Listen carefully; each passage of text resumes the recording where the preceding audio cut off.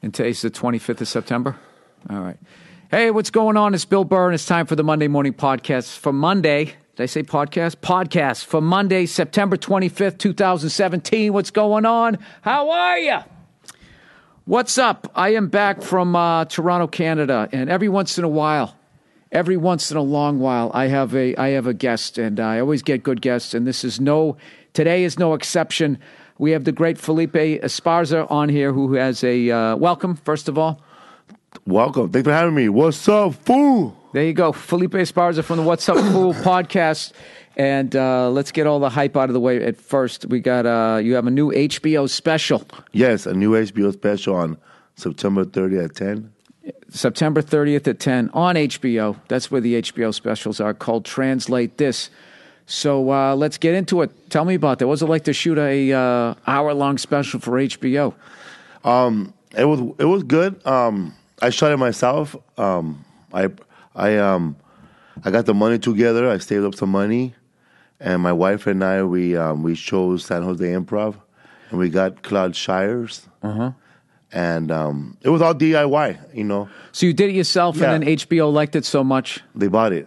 Oh, so when you were doing it, you were thinking like, "Holy thinking shit, I'm doing an HBO special." I don't know where it's gonna go. Like, I hope it goes to Netflix somewhere, even Amazon. No, but that's. I think that's a. Uh, that's a great way to. How the fuck is nobody giving you a shot? I don't know. You know why? You're not white like me. um, I got to be honest. Before we, I did this, you know, I always look up like uh, videos and all that type of stuff to make sure I got something to talk about, so it doesn't become this.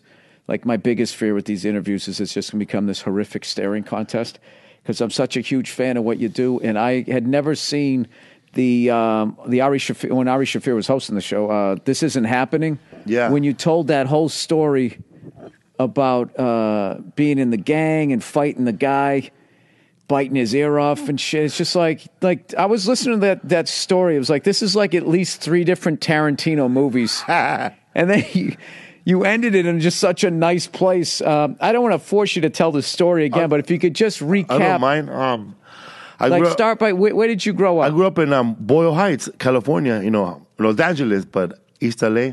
But it's called LA. Boyle Heights. You know, East LA is like further east, East. east of Los Angeles. You know, it's by almost close to Monterey Park. But Boyle Heights is the neighborhood Wait, right wait. How far away is that? To put it in white perspective, how far away is that from the Staples Center? Ooh. I, if, if I were to walk, it would take me like an hour. An hour So if you were to drive, probably fifty minutes with LA 15 minutes. Okay, cool. a 30 minute bus ride. Okay, thirty minute bus ride. So you grew up uh, what? ye- What? What decade? You're a child of what? You came in- 80s. You're the eighties. I grew up in the 80s. So that was the real deal. Yeah, I grew up. In my neighborhood was in the housing projects, Pico Gardens, and there was like three separate housing projects. There was Aliso Village, Pico Aliso, and then Pico Gardens from First Street to like Sixth Street. Okay. And there was like shit, man. There was like a shitload of gangs, like maybe eleven. How did you know when you're not in a gang and you're a young kid? How do you negotiate? Like, I got to get from my house. To, I got to go pick up my my fuck. I got to go do my laundry. I got to go to school. How do you negotiate? Uh, is it uh, now? Are gangs twenty four seven? Oh yeah, man. They're twenty four In that neighborhood, they were twenty four seven. See, I, I always thought they came out around five. Like anybody with like just living the regular lifestyle goes to bed and then they just kind of give up this the area there and then you- Those gangs that come out at five, they're like the gangs that, that, that are still living in a gentrified neighborhood. oh, okay. They don't come out in the daytime because they might call the cops on them. Oh, But yeah, man. But most gangs, you know, from Echo Park, they come out at night, man, robbing people. Really? Yeah, they come out at night. Those gangs, where, wherever there's gentrification, those gangs are still around, but they come out at night and they gang bang at different areas, you know. But they're still gang banging. They So don't how, forget. how, how old were you the first time uh, you got mugged? I got mugged um, the first time when I was like 18 years old.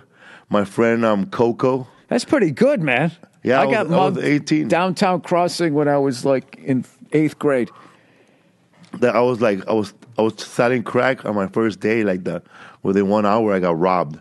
Somebody put a knife behind my back, another knife in my like in front of me, and they took all my my crack away. Took all your crack away. So Yeah. then, then what do you have to do? Oh, I had to go back to the guy who gave it to me, a friend of mine who I grew up with. You know, he passed away already. They used to call him Coco. Uh-huh. And we grew up together. Him and I were um, from second grade to adults. I needed money at the time. I got somebody pregnant, and I didn't know how to make money. So I asked him for a job in the criminal business. Can I, you know, hey man, I had no money. How does that go down? You're probably uh, I trying to avoid me. it. It's like I don't want to sell drugs, but I, I kind of have to now. I got a kid coming. So help me. So he gave me like a hundred dollars of, of crack, you know, a hundred. He told me just bring me back a hundred, then I give you more to sell. So as soon as I got out, they didn't know who I was in that neighborhood. They just came around me and they took all my stuff. They didn't hurt me or anything. I was begging for my just can I keep my ID? And they gave my ID. Oh, they did. How scared were you? I was scared, man. I thought they were gonna kill me right there. I was, I, I felt like I was young. I was really scared, but I was calm. You know, I wasn't like, uh, Right. just take it, man. Just take it. Leave me alone. You know, I just walked out of. I take it. I didn't fight them or nothing because I know they would have killed me or stabbed me or worse. So I went back to my friend Coco, and I told him what happened. And I, and I thought, you know, he was gonna be okay, man. You know, it's all right. You know, it's your first. It day. happens. It happens. no, man. Man, that night escalated. Like it took with I, he gave me the crack at like around midnight. I got robbed around 1.30. At two thirty in the morning, I'm back at his house. What? Who robbed you, cuz? So what happened? He gave me a gun. He gave me a pistol. Christ. And he got himself a pistol, and he and he put a, a blue handkerchief on his on his head, and, a, and he put a black beanie on, and we both went looking for those guys. And you must have been praying to God, like, I don't want to murder somebody the first time. Oh hell yeah, man! I was praying, please don't find those guys. Wow. Because right there, I was like, I would have probably done anything he would have told me. I was vulnerable. I was weak. Right. You know, I have no, I didn't know what to do. So we went together and we saw one guy that saw what happened, but he didn't do anything. And and then like he kind of like hit him real hard. And who did it, man? Where are they at? Then I said, man, it wasn't him, man. It wasn't him. So it wasn't him. Wait, how did that hit? So you go, oh, I, there's a guy, remember that guy standing there watching me get Yeah. robbed? So now this poor bastard gets dragged into it. He gets dragged into it. and He got like he got like gun slap, you know, by my friend. He, my friend didn't even ask him no question. He just hit him in the face hard, man, and like he started bleeding from his ear. And I, and I and I just said, "Wow, man!" He was looking at me like, "Come on, man, please tell him it wasn't me." So you waited till after the pistol slap. Oh, I, I, I meant, meant to tell you this. It wasn't him. So we got nothing happened to him, and we went back. And later on, those guys who actually did it walked back and gave it back, or everything, gave back the crack to that guy, and everything was cool. Because what? He They said, "Sorry, we didn't know that." they, they were afraid of that guy. yeah, sorry, we didn't know Batman was with you. Oh, yeah, that was your street nickname. yeah. So then know. after that, then they knew that you were with him. So then people stopped fucking with you. people start messing with me. Yeah. Jesus Christ. This is what kills me about you is you have like a thousand of those stories and you're the most relaxed, laid back guy ever. Like where did it all go? Cuz dude, I look at me. I I sound like I lived your life and you sound like you lived my life.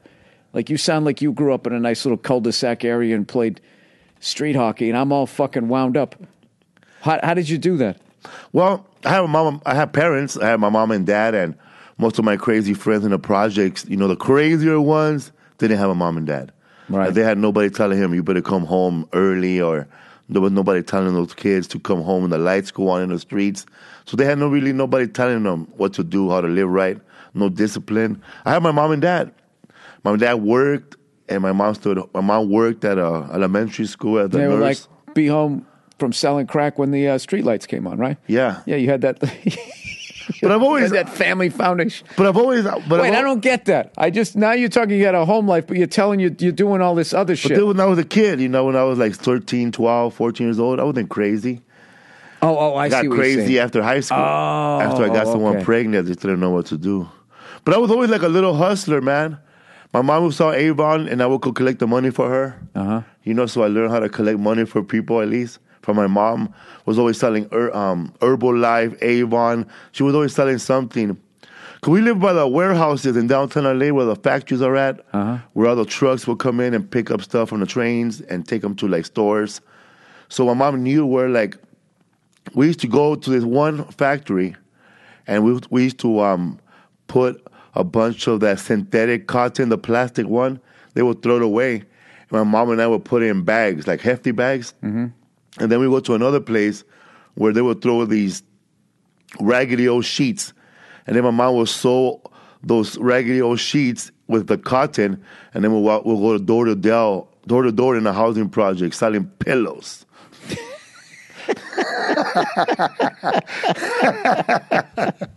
So you guys were a real green family, man. You were there. You were there recycling. That's Everything wonderful. Everything we sold, we threw in the trash, and we sold it like we sold pillows. I used to when I was like fourteen. I used to walk to downtown. what would you do with pallets? Would you build a little house and then sell that?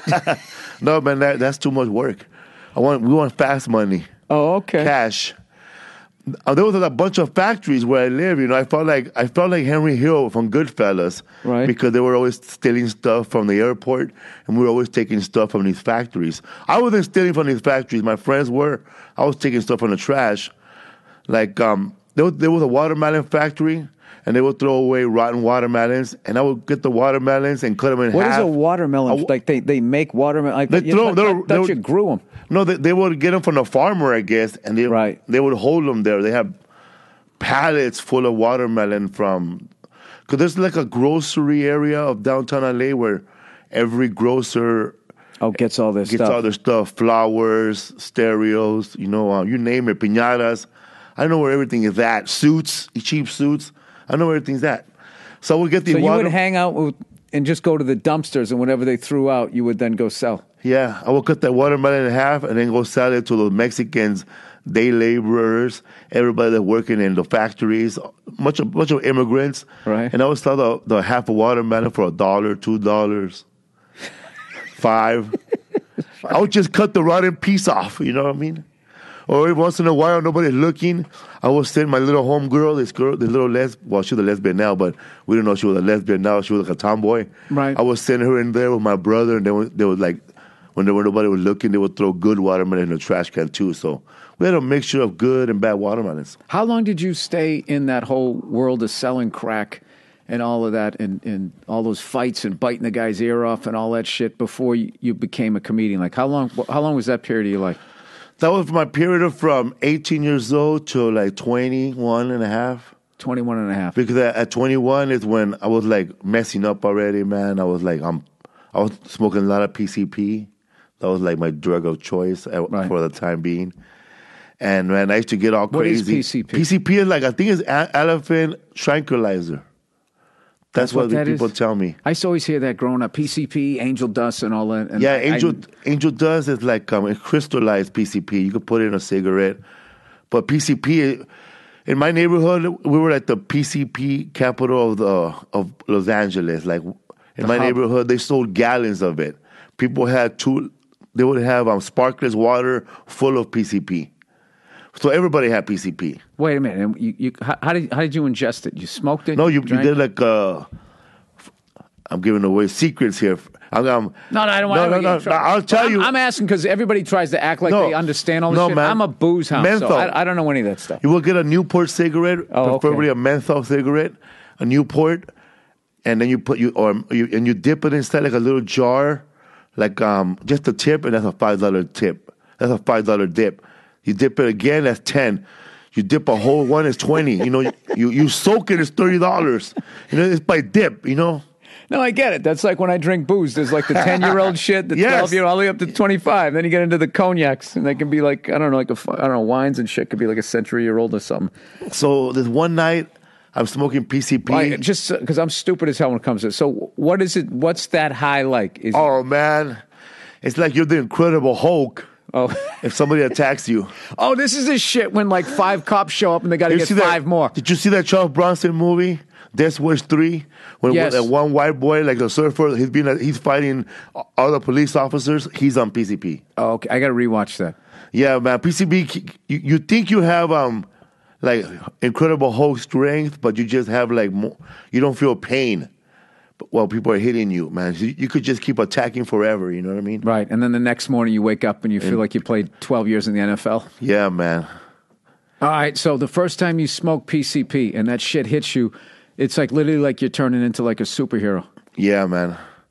I, but the one time What when did I, you do? Did you try to bend something? Nah. That's what I would have done. fought cops nah. No, that's what I would have done. I would have tried to pull something off the fucking wall. I bit a guy's ear off now. Well, the, when I was like walking around, there, there, people I was, I was becoming to be known as Batman. You know, he's crazy. Watch out for him. Why did they call you? Why did they call you Batman? Because um, I love Batman, and I used to wear my my those um those superhero underoos. Uh huh. At eighteen. Yeah, man. Still, well, the Batman shirt still fits, so I wore it. And I, I don't know where to get a Batman shirt anywhere else. Was the Underoos factory right down the street? you took it out of the dumpster. To the Bat Projects. Yeah, that's amazing. All right, so you're doing all that. I'm watching. Um, I'm at the drive-in theater with my friends, smoking PCP, watching Terminator Two. And- Asking, why, I, I, saying I'd fight that guy. Yeah, man. and, and I was thinking about the guy that's been bullying me for the last two weeks. So I, I go. I Now go, wait, if you smoke that, say say a guy if you was, I, I shouldn't do this because I'm like doing a commercial here for the drug. Say there's somebody bullying you, you can't beat that guy, right? If you were to smoke some P- PCP, it definitely would give you the belief. But can it overcome how slow you are and your inability to slip a punch and all? You just walk through his shit. Yeah, man, you just throwing punches because um, when I when I got into a fight with this guy, I was, they told me I was doing things that I don't remember doing. Like they, they told me that I took my belt off and I was whipping them all over the. All right, you got to. We keep alluding to the story. You got to tell the story, right? So you're right. Batman. You got on your underoos. You smoked PCP at the drive-in. You saw the Terminator Two. when I left the Terminator 2 movie, I come back in the project and I see this guy that he's like, he's like an old dude, man. He's like 30 years old. He just came out of prison. He don't know who I am. He's like calling me bad names and um, pushing me and pushing me, and I don't want to fight him, pushing me. Then finally, I socked him in the face, but I kind of missed. Then he hit me right in the eye, and he hit me hard, and my eye got black right away. And he punched me in the face. I started bleeding. Then he started choking me. So when he started choking me, that's when I like got, I went crazy. I went crazy, man. I lifted him up, dropped him, bit it, I bit his ear off. First of all, I bit his You ear turned off. into the Hulk. I bit his ear off, man. I was like the Hulk Hogan. Let me tell you, brother. Let me ask you this: When you bit his ear off, were you underneath or you on top of him? I was like underneath him. He was choking me. And you just all of a sudden that PCP kicked I bit in. it off, man. I, I never thought my skin is so easy to bite off. And Yeah, well, that, I that spit- thing gross you out or I, nothing? no, not even, man. I spit it out and I started punching him. And then my friends told me that, um, Wait, what did he do? oh man, he took the hits like a soldier. So when you bit his ear off, this guy's He freaked swinging. out. He's he's screaming like a little girl. Okay, He's all in right. pain. So Actually, he's kind of screaming like a guy who got his ear bit off. I Yeah, mean, he's I, I think at that man. point, I think you're still a man if you if you go up a few octaves when you're missing a fucking ear. But I, I, I don't know why I bit his ear off. I mean, I had no. I guess I had no choice. You know, he was choking me. Sounded like that was the move. No one was helping me. He wasn't. Didn't seem like he was going to be stopping. All right, so you beat it. You, then you took your belt off and you were. My friends told me that I took him, my belt off and I started whipping him. Like he was like chasing him with a belt, whipping him like a, like he was like a runaway property or something. And how many people are witnessing this? I think like 12, 15 people, but they're all like cheering me on, cheering him on. Nobody's helping, Do you know how many hits that would get? Like nowadays, if they were, if dude. that would be. That would be like it would be epic PCP guy, epic belt guy. There'd be something like that. I would have been a rap song, auto tune, Batman. Yeah. So wait a minute. So when you so you don't remember doing that. So there was like, oh fuck, this guy's gonna kill me. Then you start to bite his ear off. You're like, wow, ears come off really easily. Then you sort of black out, and then and like, well, you just sort of came to with like blood all over you, going like, uh, The did I next- just eat a hot dog or something? Yeah, the next day I wake. The next day I'm walking around. It's like 10, it's seven in the morning, eight in the morning. I don't know, man. I'm looking at my body. It's full of blood. My pants, my face. You know, my I have a black eye. My shirt is full of blood. I have no idea what happened.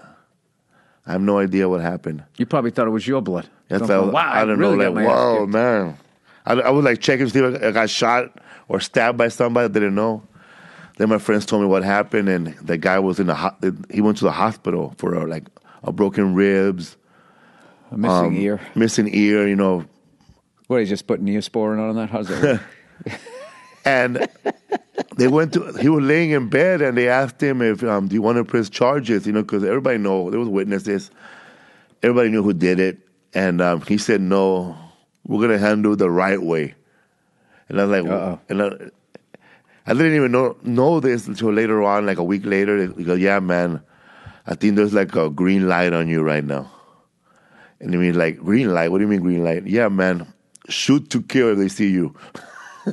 What the fuck? So that's the first time you ever heard that. So now, Yeah. what, now what do you do besides not go outside? Do they know where you live? They know where I live, but I don't know what. The, he's still in the hospital though, but everything's calm, you know. But he's still in the hospital, but I, I could feel tension from people who are who I thought were my friend at one time, who I who I grew up with, you know. You know, they were turning on me, like, because I was never in their gang. I was in another gang. When you watch The Wire, do you like fall asleep? Is it like boring to you? Because I never watched The Wire. You don't need to. You lived Yeah. it. That's what I'm saying. Like it sounds like uh, an award-winning series to me. I'm more like blood in, blood out. So wait a minute. So now, now there's a green light on you. Yeah, and um, Okay. At some point, you got to go outside to get food because you're hungry. yeah. So I, I'm What's a when you have a green light on you in, in East LA? What's a good time to go out to if you got to go hit hit the Mayfair Market or whatever? What's a good Oh time man, to the best out? thing to go to do right when you have when you have a green light in in, in um, from anybody, you know whether it comes from prison or if it comes from just the neighborhood, it's just leave, man. Move somewhere safe, like Modesto.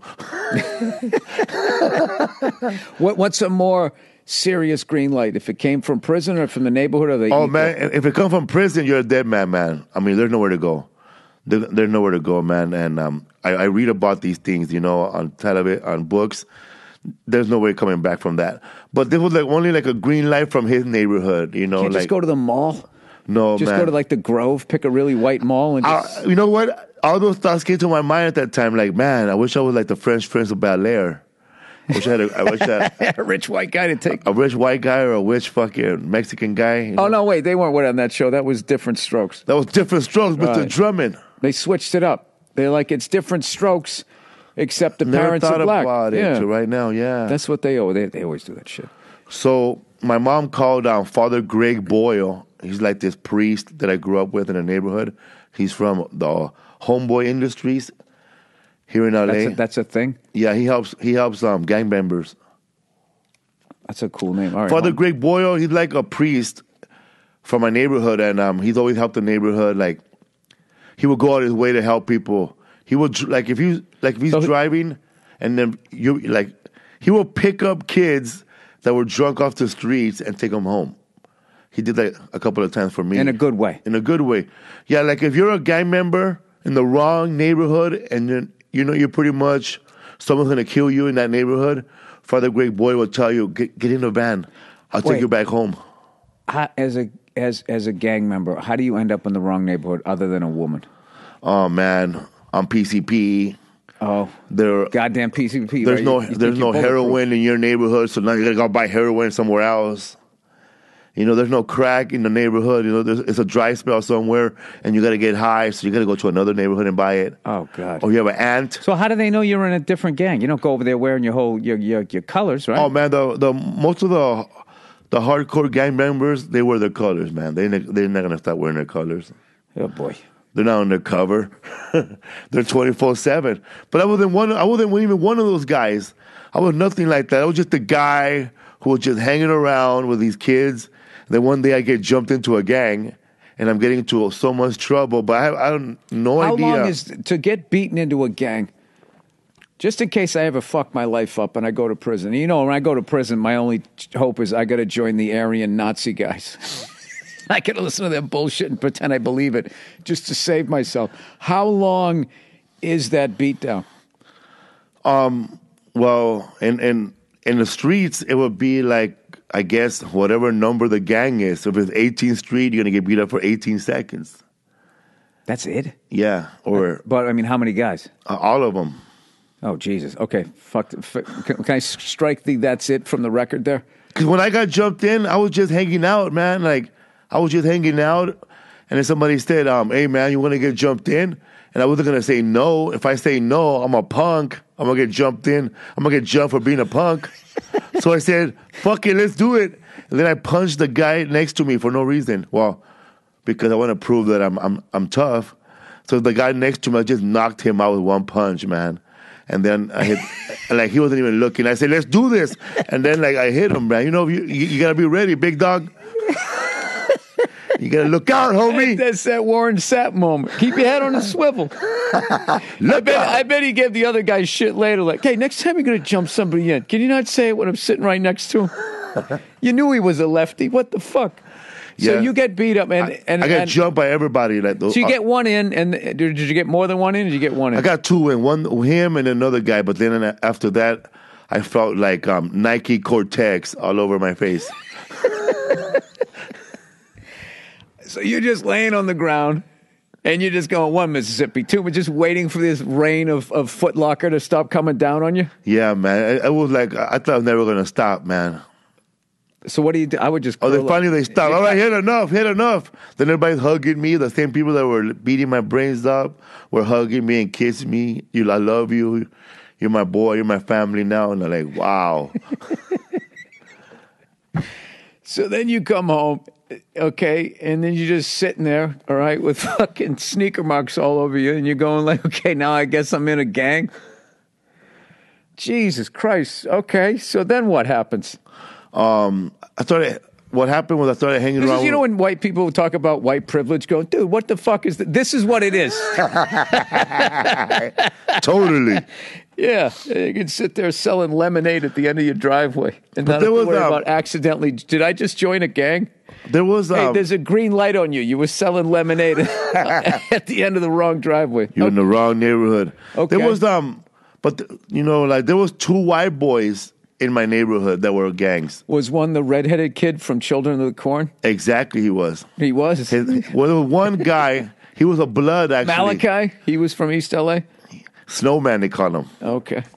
There was uh, there, there was actually two white boys. I find man. that offensive, by the way, but continue. There was two white boys in the hood, man, and they were both gangbangers. And one thing about white boy cholos, like when you see a white boy join a gang, like when you see a white guy, like someone like you, and you're hanging around with nothing but Mexicans, they're white white guys are the most craziest gangsters when they're in a Mexican gang. They do stuff that a Mexican man would never think of. Like I remember this one white guy, Snowman, he was a blood. He said, "Man, let's go do a home invasion," and I, and everybody was asking him where. He goes, "My mom house." Oh, he wanted a home game. All right. That's not right. Like he wanted them. He wanted all, the- all the homies to rob his house because he wanted his mom and dad to get robbed. Why? Because I don't know, that was Probably his because they idea. were mad. They're probably saying, stop hanging out with all those Mexicans. He's like- Probably, man. That was like, his show you. idea. And I was like, damn. So they probably behaved that way because they, they felt no matter what, they, they, they had to constantly prove. Constantly, man. Because technically, they could just get a haircut or whatever, put away the flannel, and just slip Slip away, man. slip away down at the Grove. Slip away, become a social worker. and that'll be it. So, how long were you in this gang for? And did you ever get beaten out? No, I was in this gang too. Um, I, uh, when um, Father Greg, Bo- when I bit that guy's ear off, I went to rehab. My Father Greg Boyle took me to rehab, and um, I, I disappeared for. I'm still gone. I never went back. Oh, you never went back. Oh, all Yeah. right. When you get uh, beaten out of a gang, how uh, how long is that beat down? as long as they want to. Um, I know we had, I had a guy in a podcast named Fabian who was in a in a gang, and he talked about he got beat beat out, he got jumped out, and he said that when he got jumped, it just lasted longer. But um, his uncle is still in the gang. It's So of a s- simple expression. His Hey, uncle is, is still in the gang, so his uncle oversaw him getting jumped out, so he didn't get hurt that bad. I don't have an uncle. okay. I, I probably would have got killed if I would have got jumped out when, when I was 20. But Now, the white version of that is our dad's the judge, so we don't go to jail of whatever the fuck we just did. Your version is uh, you, you, you got an uncle that oversees being jumped out. Yeah, I, I got to tell you, dude, I'm, I'm learning all kinds of stuff. I, I want to. I don't know. In case somebody's just walking by somebody's recorder, it always feels weird to have to like re hype something. So you're special on HBO. You shot yourself, learning all of your do it yourself stuff from fucking going around to those warehouses, making pillows out of out of nothing. Um, you ended up shooting this at uh, the um, the Improv in San Jose, which is one of my favorite clubs. Isn't that a great club? Because you feel like you're doing a theater, even Yeah. though even though it's a club. It's tremendous. And uh, you shot it there. It's going to be on HBO September 30th at 10 o'clock. Called Translate This. Now, are you? Um, I know you're a great joke writer, but you. Uh, I saw in Ari Shaffir's. You told that you told the amazing story that you you touched on today. Um, is your uh, stand up style in this more joke telling, more storytelling, or both? You know what? My my comedy special is it's more about um, it's more about how I got to this country with my parents and um, being a, a single father and being a cheater. But yeah, man, I cheat a lot. I get caught cheat, cheating all the time. I'm bad. I can't help it. I love women. I talk about getting caught cheating because I was caught cheating. You know, um, Bert, both girls showed up to my house. Oh God! You know what I mean? And they, and man, it was crazy. And they asked me, "What do you got to say for yourself?" How long? Checkmate. How long was that beat down? Was that Oh, longer man. than 18 seconds? It was crazy. They showed Did- up in the same was car. It, was it? Oh, they they talk to each other. yeah, man. Well, now they film it and shit, and then you go in there, and then you got to do like an apology and all that shit. The Jesus. first forty-eight. Yeah. Wow. Okay. So you're gonna, dude. I can't wait to see this. But, um, special. I can't. I really, honestly, do. All right. As a stand-up comedian, I cannot wait to see this thing. You're one of the most interesting dudes I've. Ever, how are you so fucking happy-go-lucky? I don't get it. I don't know, man. I just love life. You know, I'm never, I'm never gonna go back to that type of lifestyle that I had in my twenties, and um, I just love living life, man. And I'm not gonna say that I'm perfect because um, I did fall off the. I was right after I went to rehab. I was sober for 11 years. Like I, I didn't touch no drugs, I didn't touch no alcohol, no beer, nothing. But um, along the way, you know, the, the more I did stand up comedy, the more you know I did it. I, not going nowhere. I went back to smoking crack. You went right back to crack. Mm-hmm. So you never really were a booze guy, huh? No, It's probably I don't know booze. The I more mean, studies they do, it's like the worst. Ralphie May retweeted my tweet the other night, and um, I don't understand what he meant at first because I was in Houston, and he retweeted, um, "Watch out for those spoons, bro." And then like, what the hell is Ralphie May talking about them spoons? Then I said, "Oh shit." Bert, Well, I got it- so it- it's- it's- coked it- out in um, Houston, Texas. I, I Oh, they're known for that. There. yeah, I couldn't know do that. no more coke because my nose were bleeding.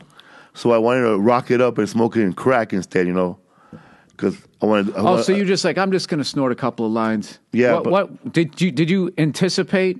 Like you like fuck this when I go to Houston, I'm going to party, or was was it just a spontaneous thing and all of a sudden you just said fuck it? Oh man, I just I was over there. I, I was working the Laff Stop in Houston. Shout out to uh, Pete, always booking me, Pete, and uh, from the Laff Stop. Um, I got I, I got I started partying, man. I I uh, I started partying and I couldn't find no powder, no coke. So um, I hope you don't mind me telling this, but I, I called up Joe Diaz. I said, "Hey Joe Diaz, you know anybody over here?" You calling me at six in the morning, cocksucker? What the fuck is wrong with you? Calling me at six in the morning, you fucking cocksucker! Ah, I know That's a great I Joey. I know somebody. so, I I knew he knew somebody. Another he he uh, um, he goes talk to this comedian. So I spoke to this comedian, and then um, this little Mexican fool showed up all week, taking care of me. I give him free tickets every day. Uh, thank you. And um, I, I don't know what happened, man, but I I, I did too much coke, and, and I felt like I can't do no more coke through my nose. You know, something's gonna go bad. I want to smoke crack now. You know what I mean? I don't want steak. I want burgers now. Dude, a reoccurring story with you is I, I don't know what happened. Last time you didn't know what happened, you were whipping somebody with a belt. Now you don't know what happened. There's like a fucking hole in your nose. Jesus, dude, when, how long ago was this? This was in them 2006, All right, so you, okay, good. 2007, 2006. So you broke your record. You've gone. You've gone. Oh no, it's 2005, eleven. It's eleven years ago. Yeah, I called up um, room service because I wanted to smoke crack, and I call, I can't believe I called up room service and I said, "Room service, I'm gonna need um, a big spoon and a baking soda brought over right now." And uh, they did not bring that to the room. Oh, they brought it, man. They did. Two guys brought it. The the guy from the front desk, he knew me because um, I made friends with him already uh, from previous times, and he brought it, and it was like a big spoon, and he brought Arm and Hammer baking soda, and the guy with him, he just was with him to laugh at me, I guess. He goes, I I guess he couldn't believe it, you know. This guy just ordered baking soda and spoon. No way. Let's go see. so they both open the door. I they they give it to me and they both laugh. But yeah, man, I wanted to smoke crack.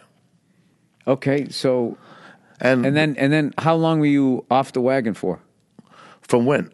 Okay, so you're sober for 11 years. You go to Houston. You order a spoon and some baking soda. Now you you, you snort coke. Now you're smoking. I got, I, uh, you partied that weekend. Did you just come back and go, "What the fuck was that?" And were you able to, or did you have to go to rehab? Again? No, man. I continued party, man, from that moment on. And the girl I was with, man, she ended up being a hermaphrodite, but that was another story for another time, you know. But yeah, she was a hermaphrodite. She, All she was born with a penis and a vagina. Right.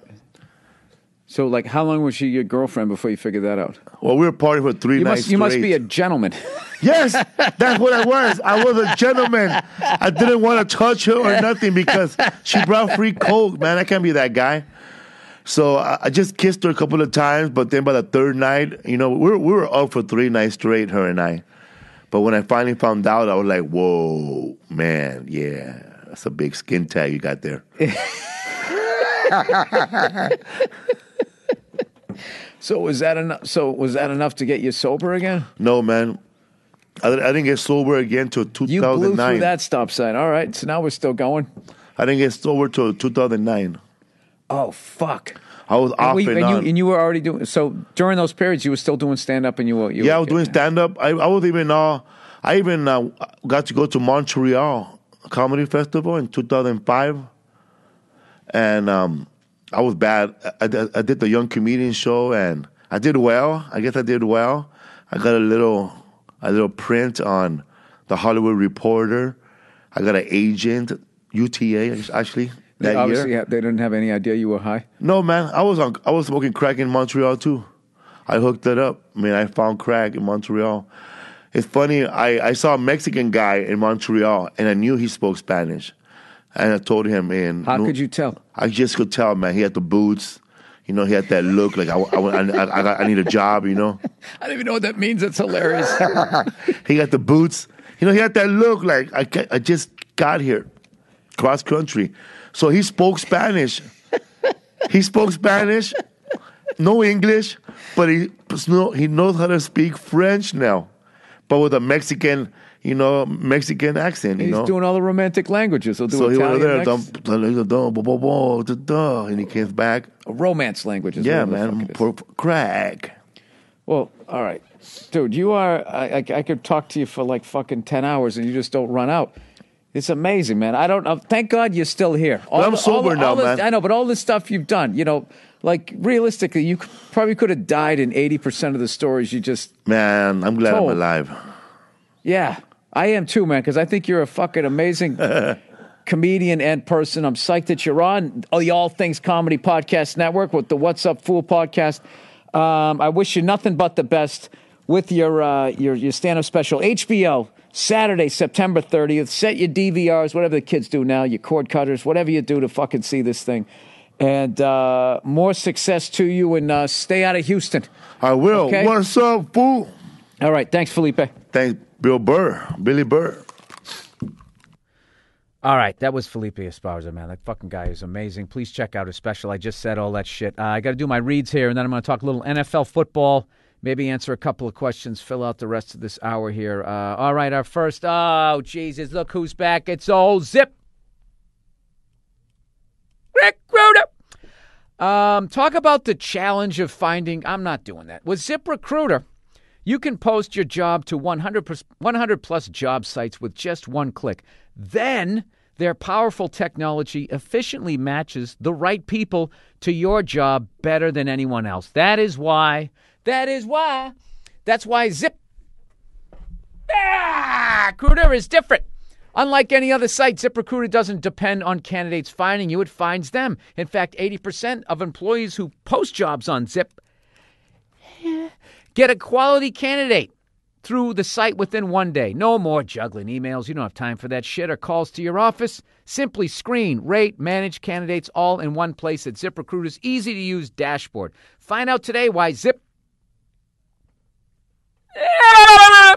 has been used by businesses of all sizes to find the most quality job candidates with immediate results. And right now, my listeners can post jobs on ZipRecruiter for free. That's right, free. Just go to ziprecruiter.com slash burr. That's ziprecruiter.com slash burr. One more time for free. Go to zip.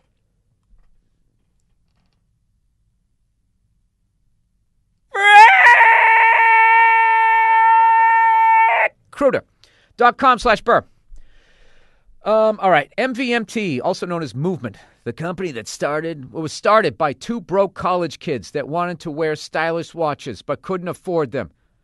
They had no money, and somehow they started a watch company. Uh, so they started their own watch company. Um, how is this like how you started? Well, I didn't have any money, and I then I started a comedy club. I built my career. I don't know, fuck it. What I got to come up with like a metaphor here. Movement watches start at just $95 at a department store. You're looking at 4 to 500 bucks, and that's why people steal. No more shoplifting or boosting, whatever your people call it.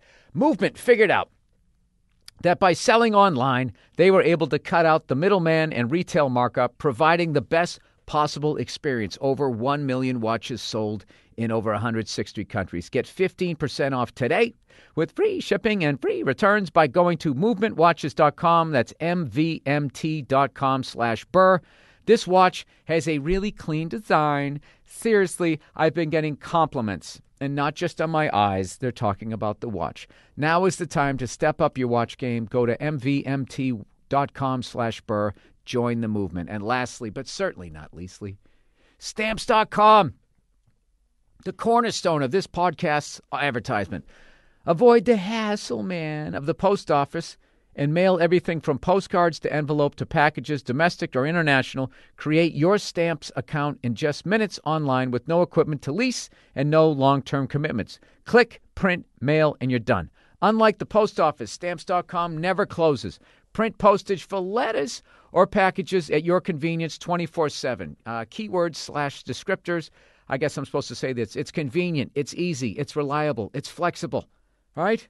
Just like your side piece there. Sorry. I use stamps.com because, uh, oh, I always, uh, whenever I sell posters at the end of my show, when I want to go out there and s- shake sweaty hands, you know, and I need to send out my posters. I use stamps.com and I'm a moron. If I can figure it out, so can you. And right now, you too can enjoy the stamps.com service with a special offer that includes a four week trial, plus postage and a digital scale without long term commitments. Go to stamps.com.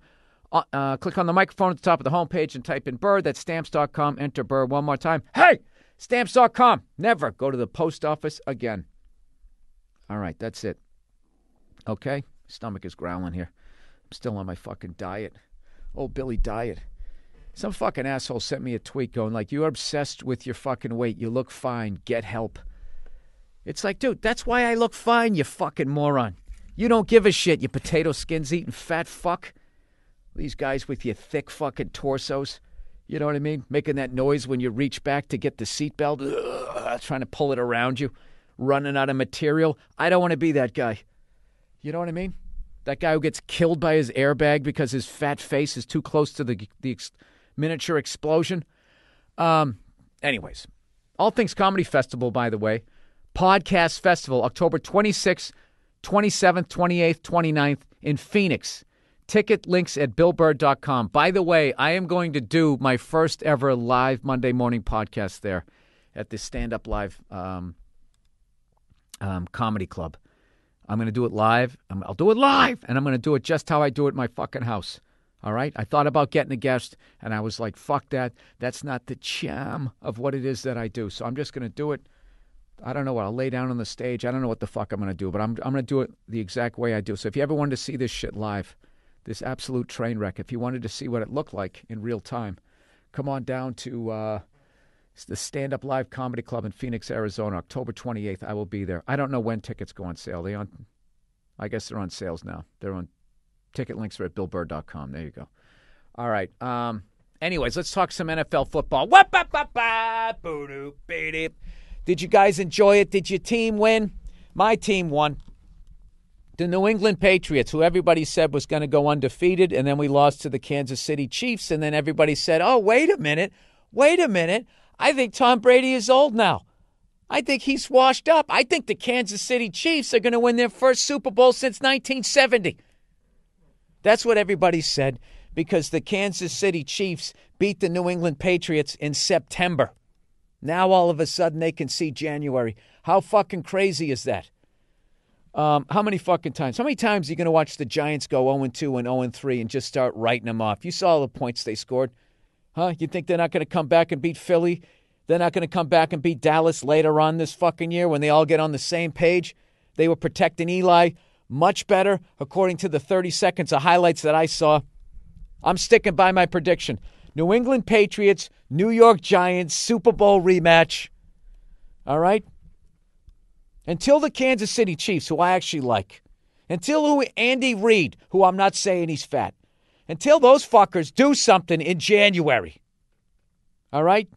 I think all of you need to sit down a little bit and fucking relax with all your shit talking. How many fucking guys have you seen throw for 500 yards in the regular season and get bounced out in the first round of the playoffs? How many times did you see a fucking guy zigzagging all over the field? You can't tackle him. And come playoff time, he's sitting on a fucking exercise bike wearing a tinted windshield across his eyes. Huh? The incredible lack of fucking respect that you gave our little quarterback that could, Tom Brady. How dare you? How dare you write off the New England Patriots after one fucking week? Huh? It's all wishful thinking. We're coming again. And we're going to take your hearts out and we're going to pull them out of your chest. We're going to show them to you. And then we're going to underinflate them on our way to another fucking. Actually, we never got caught doing that. They just suggested that we did it and they got laughed out of court.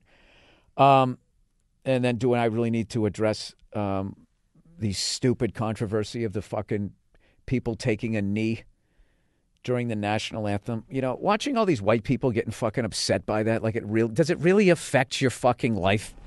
And all these fucking idiots trying to make the point of what they're doing. It's not about your point, the people who started this thing. It's about my point. It's about the way that I see it. You know? I had a buddy of mine go, Yeah, these fucking guys, they make a million dollars. You know, you think it's bad here? Why don't you go fucking move to Syria? It's like, why do they have to move? Why can't they just live here the way you do? I don't understand that. And, um, but Donald Trump is a fucking genius that he has everybody talking about this issue because he is trying to get everybody to stop focusing on the pool party he had with fucking Vladimir, what's his face over there in Russia. He doesn't want you watching that. He goes, oh, look at this over here. Right? He goes down to Alabama and he gets all them fucking people all riled up and he keeps talking about this fatty over in fucking North Korea. That's what he's doing. It reminds me of when old fucking Slick Willie you know, bomb that country because he stuck his cigar in that woman's nether region. This is the type of sick people that become president. This is what they do. All right? They get caught doing some fucked up shit. And then I will say this about Trump. At least he didn't go bomb some people. Unlike what's his face with his bitch hands, who now gets treated like a fucking hero. I don't understand that guy at all. You know what I mean? Oh, how you doing? Yeah, that's great. Yeah, I got caught getting my dick sucked in the Oval Office, so I bombed the country. I might have killed the baby, but I sleep like one every night. Um, I know. I'm a conspiracy theorist. I fucking hate them all. Did you see that thing? Uh, what's his face? In fucking uh, Korea considered that we declared war on them, right? So uh, uh Maggie Magenhall, whatever her fucking name is, uh, Maggie Gyllenhaal what is the what is the fucking the poor woman who has to go out and fucking give the press conferences now because that dude with no neck, you know, who kind of looks like the political version of Roger Goodell, went out there and fucked it all up. The hell's her name? She's got a classic political name. I don't know what the hell it is. She said the fact that North Korea thinks that we're at war with them is absolutely preposterous or something like that. And then like a week before, what's his face?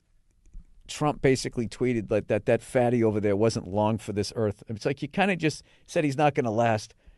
He's not going to be around long. That's what he said. I mean, I would take that as a threat. Old Haberdash versus Haberdash. Um, you know what they really need to do? They both need to just go to a whorehouse together and fucking grow up. You know, bang a couple of whores. They need to do a threesome, right? One of them's getting blown, the other's hitting it doggy style, and just their eyes meet. They just start laughing being like, this is a great life, right? You got a personal chef too? Yeah, it's fucking amazing. You live in a castle, live in a White House. I mean, it's fucking, it's cool. They should just talk about, you know, trade stories the way comedians trade stories about bombing. They could just talk about fucking bombing other countries and I don't know what, fishing, whatever, whatever people at that level talk about. All right. Let's get to the questions for this week. So I, I don't have any fucking problem uh, with these these guys taking a knee. Uh, I try to listen to what it's about rather than getting wrapped up in what uh, what what it means to me. Um. All right, pharmacist writing in, dear Billy Bag Chaser. I don't know what that means. Um, by the way, people, 39 days sober.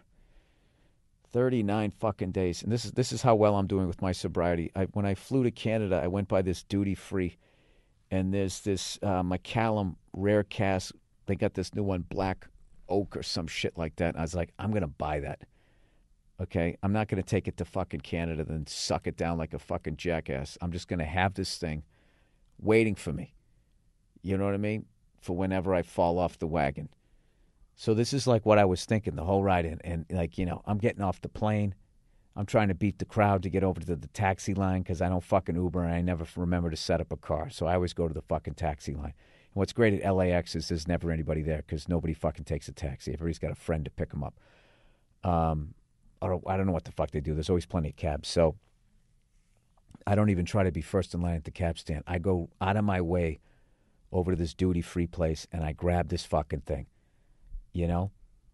And I like bring it up to the counter, and the lady goes, "Oh my God!" She goes, "Fucking, uh, what a wonderful choice!" And blah blah blah blah blah. You have great taste. I go, "Oh yeah." I'm like, "I'm on the wagon." When I come off, this is the bottle I'm opening up. She goes, "Are you going to Canada?" I said, "Nope, I'm going home." And she goes, "Oh, I'm sorry, I can't sell you this." And I'm like, "Why not?" She goes, "You have to be going to Canada. Something about the duty free." And I'm like, "It's it's legal though." Do they sell this anywhere else in the airport if you're just going back to your home? They're like, no, no, we don't. So, I don't know. So I had a fucking hissy fit. I had a fucking hissy fit. I had two hissy fits. One on the way there, going through Canadian customs, when they made me take the, the lime green plastic cover off of my fucking laptop, like I somehow had a bomb in there or some sort of bomb residue. And I'm literally taking it off, going, I'm going to crack this thing. And they go, well, just try to take it off easily. It's just like, would you look? I look like fucking Howdy Doody. What? What? What? I, I'm in this matrix. I like what's going on. Tell me what you want me to do. The fuck. So they make me take that fucking thing off. ended up cracking the cover, so I'm already in a bad mood. So rather than you know growing up and realizing that these fucking people at the, the what is it the, the TCA TCP whatever the fuck it they are TA what is it called TSA TSA the fucking TSA rather than just realizing these people are trying to protect me, which I don't think they're trying to do. I think they're trying to make it as inconvenient as fucking possible so I'll agree to have my fucking retina scanned so they can share that fucking information and gradually build a fucking robot. Sorry. Put this fucking headphones back. Um yeah, so all I wanted was a bottle of booze. That's all I wanted.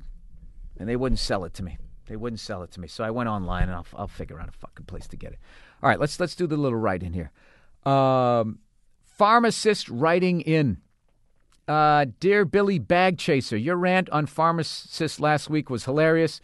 We have to be able able to laugh at ourselves, right? I just wanted to weigh in on a couple of things. First off, the medication you were prescribed, the anti-inflammatory drug you received, was in the non steroidal anti inflammatory drug class. How the fuck do you know? You didn't even look at it. Maybe you've just be, ah, no, I can tell just by the way he's talking about it. I understand. Basically, these drugs decrease the formation of prostaglandins and thromboxane. Those chemicals are involved in the inflammation process, which itself causes pain. So these drugs can't just decrease inflammation without also decreasing pain thus being labeled a painkiller. Oh, okay. NSAIDs are not in the opioid family. Okay. Are not habit, habit forming. I don't know what this guy's talking about, but it sounds like he's blowing my argument out of the water. However, they can be very dangerous in susceptible populations. Why can't you say with addicts? Susceptible populations. You guys are such fucking creeps in that world. NSAIDs NSAIDs, and SAIDs increase the risk of cardiac events, kidney damage, and stomach ulcers. Oh, I'm sorry, recovered addicts.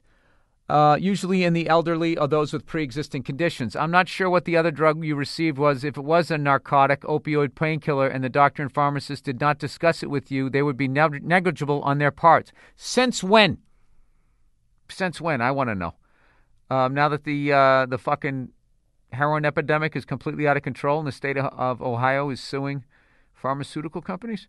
I guarantee I graduated four years ago, and the dangers of narcotics was extremely stressed. Now all the medical bodies are communicating the dangers of narcotics to practitioners and overseeing that prescribing is done appropriately. And maybe this is just the fucking. It's just how we are, you know.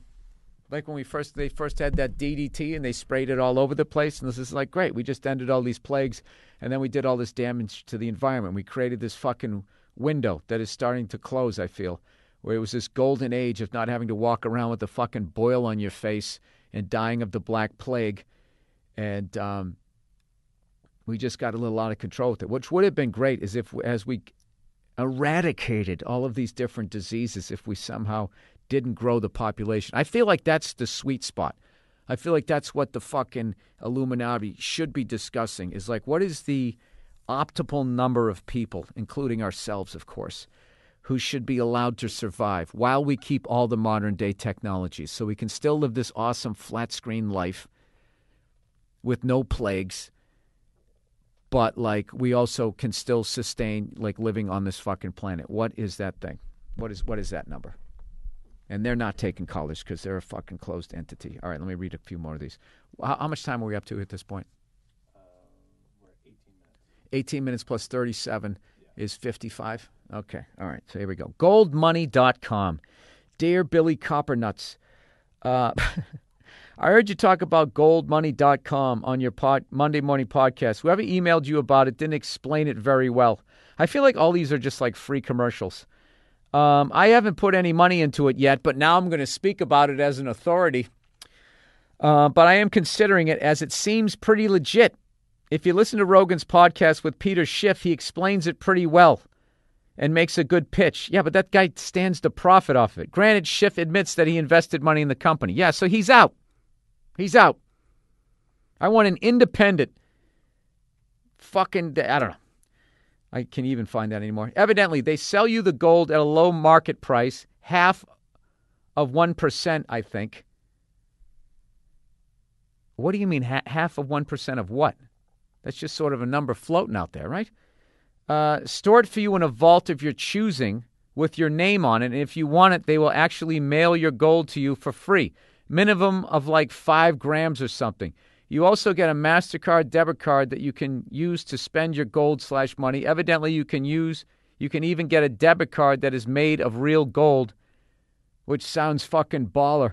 The Federal Reserve and powers that May, B may never let it work, but it seems like a great idea at least. Thanks and go fuck yourself. Yeah, there's a bunch of great ideas. Yeah, I'm all set on that. Hey, you give me your cash and uh, we'll put it in gold in a vault that you choose. That's not where you can see it. Um, all right, dating in Saudi Arabia. Uh, maybe I don't know. It sounds like uh, even if they're they're mind is in the right place, it's going to go belly up, and then they're all going to write themselves bonus checks off your gold. That's what I would guess would happen. Or the Federal Reserve will come in and say this is all illegal and take all the gold, and then act like it's in Fort Knox when it's really fucking uh, I don't know.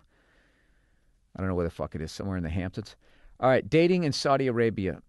Hey there, Billy Pie, Billy the Pie Maker. Hope you're having a great day. Anyways, I wanted your advice on this problematic shit that I'm stuck in. I met this lady through a common friend of ours. Oh God, we talked. This is this is going to get messy when you break up with her. Then you're going to lose her and a friend. Uh, we talked. She's a really cool person. We got a lot of things in common. Then we met again twice as a friend, and now I want to ask her out. But here's the thing: she is Egyptian and I'm Indian, and we live in Saudi Arabia, Arabia, and dating is illegal here. Well, then what the fuck did you go out with her for? Now your heart's to get cause you to get your fucking. What do they do if they beat your feet in the square? They're to fucking slap your dick around in public or something? Whatever the punishment is over there. I mean, the authority could deport you immediately or worse, send you to jail for years. Now, I really like this girl. More than your freedom? All right. Now I really like this girl, and I like you not even love this girl, and I've already thought of of names for our kids before she even said yes to me. But I'm really st- stuck on thinking through my brain. Okay, this is second language here. I'm going to try to help this out here, but I'm really stuck here. What should I think through my brain or through my dick? Uh, should I? Well, dude, none of that is your heart, so you should just leave. Should I ask her out and open for a whole another level of problems, or should I just shut the fuck up? Any advice from you is highly appreciated. Love the podcast and love you as a brother. Go fuck yourself. There's not a woman or a man out there worth going to fucking prison in Saudi Arabia.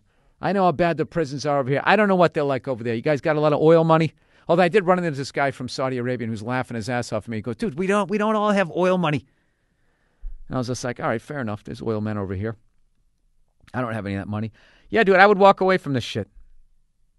It's fucking illegal. You could go to jail. You could get deported. You know what I mean? And even if you love somebody, they're going to annoy the shit out of you. So, I mean, is that worth going to jail for?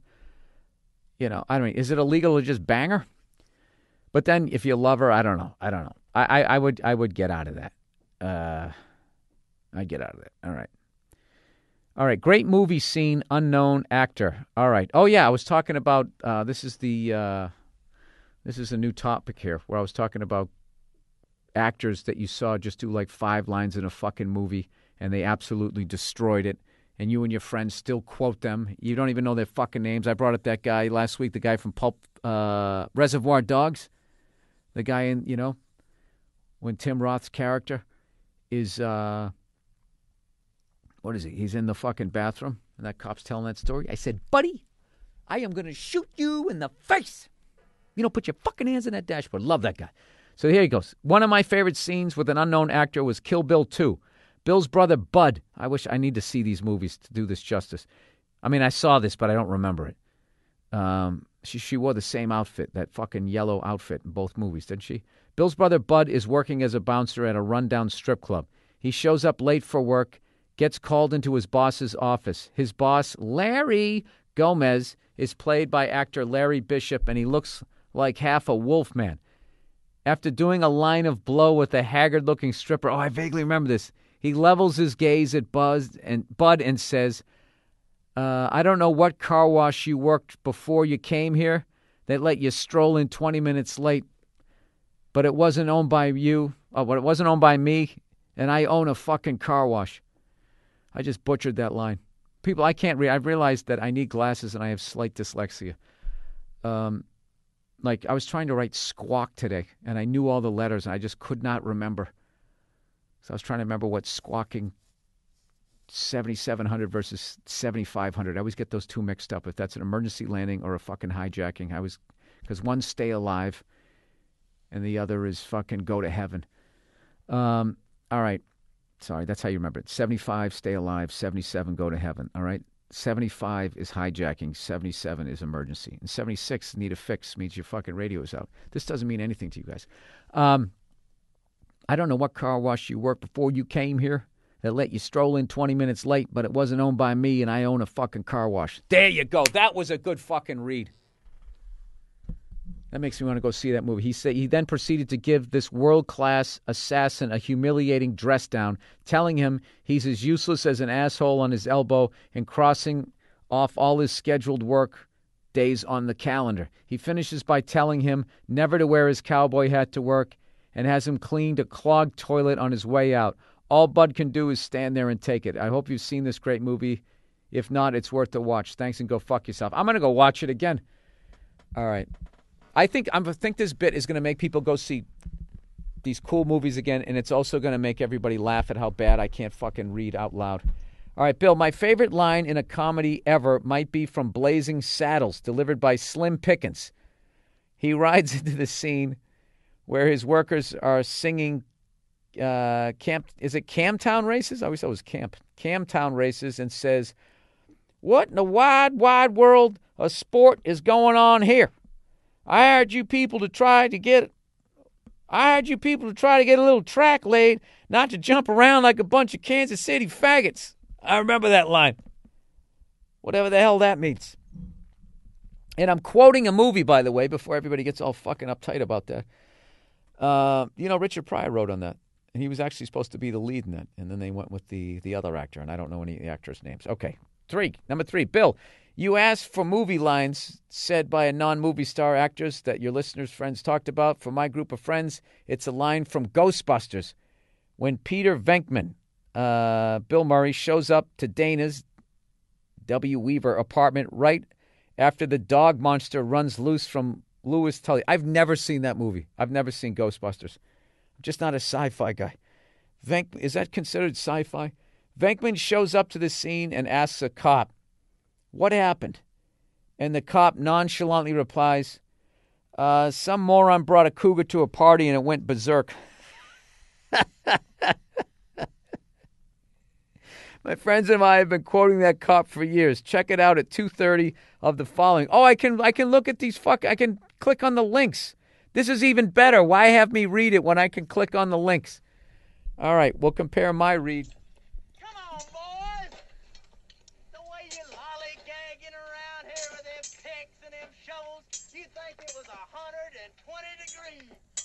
Can't be more than 114. when you was slaves, you sang like birds. Come on, how about a good old nigger work song? Jesus Christ, what the fuck kind of link are you sending me here? I thought that was going to go to your fucking. Oh, boy. Oh, boy. Am I going to have to have an apology video here? What the fuck just happened? All right, let's. Do I do this other one? This is my. How you doing? Why don't you have some of the brie? It's at room temperature. You think it's too warm in here for the brie? Louis, I'm going home. Don't leave yet. All right, fuck all these things. These things are going to be too long, and evidently they, they have the N word in them. Yeah, boy. Do I need to take a knee after this one? All right, number four. I have two unknown and unheralded actors with memorable movie lines. Both are the great Mel Brooks movies.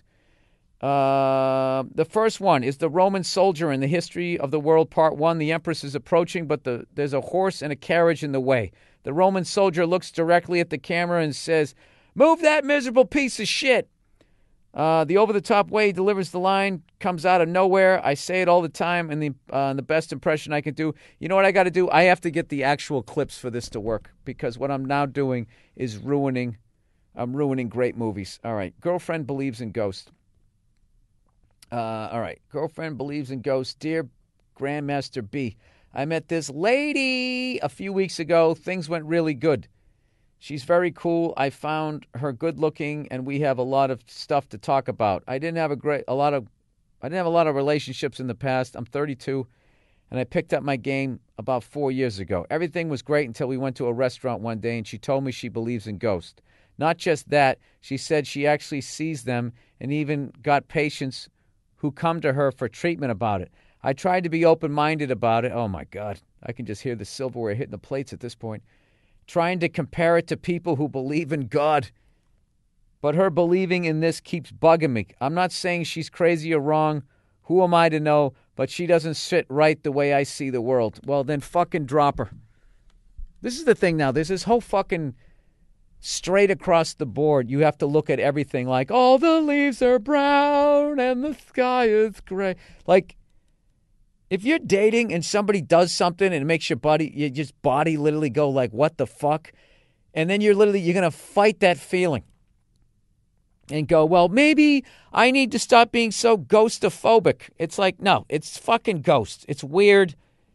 You know, you, you're gonna fucking live with Whoopi Goldberg's character from Ghost. That's what you're gonna do. People trying to sit on her and shit trying to sit on your wife, that's what you're going to sign up for. I mean, if that's what you're into, by all means do it. But if you're on a date and there's like, that's a major fucking thing. Because it's not like she just believes in it and every once in a while she's going to hear like a thump in the house and start telling you it's a ghost when you're like, honey, it's fucking air in the pipes. All right, we just have to fucking turn on the faucet. You know, and it'll, you know, remember the plumber did work today and they shut it off for a second. That that's what that is. You know, that's not that. She actually she's going to become like a ghost hunter and all of that stuff. And uh, gradually, she's going to get start dressing more and more like she can predict the future. And you don't want to fuck that. You know what I mean? When they start wearing those long flowing things, you know, just you just so many layers of clothes to try to pick up to just get it going. You know. You start wearing like curtains and shit. You don't need that. Anyways, all right. Um, sorry that whole fucking movie thing. Just I don't know. Can you guys just send me the goddamn clip? Or I guess you sent me the clip. What I should have done was cue it up. I tried to do too many things. I tried to promote shit. I tried to do all that and then do the whole thing, and the whole fucking thing just fell apart. All right.